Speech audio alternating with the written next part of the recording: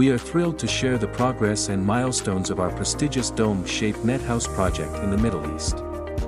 This innovative step allows us to expand our abilities and grow fresh, high-quality vegetables even in harsh environmental conditions.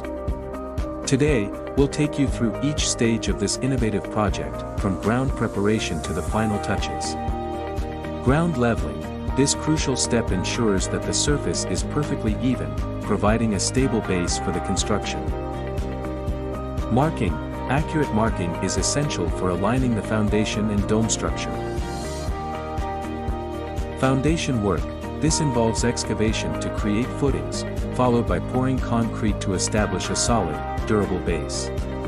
The foundation is designed to support the entire dome structure, ensuring long-term stability. Frame construction, with the foundation in place, we proceed to frame construction. The dome's framework is carefully assembled, with each component meticulously fitted. This phase is crucial as it forms the skeleton of the net house. Covering and netting, finally, we complete the project with covering and netting. Specialized materials are installed to enhance functionality, including light filtration and temperature control. We also provide our customers with a detailed project plan design video, offering a deeper understanding of their structure and ensuring complete clarity throughout the process.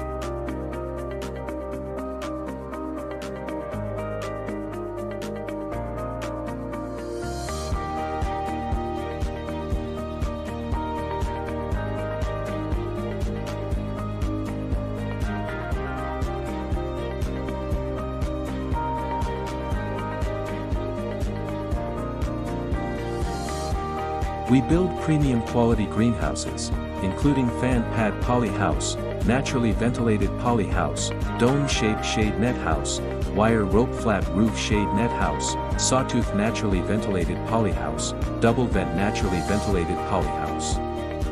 Thank you for joining us on this journey through our prestigious projects in the Middle East. At IG Aatreyas, we're committed to innovation and excellence in agriculture.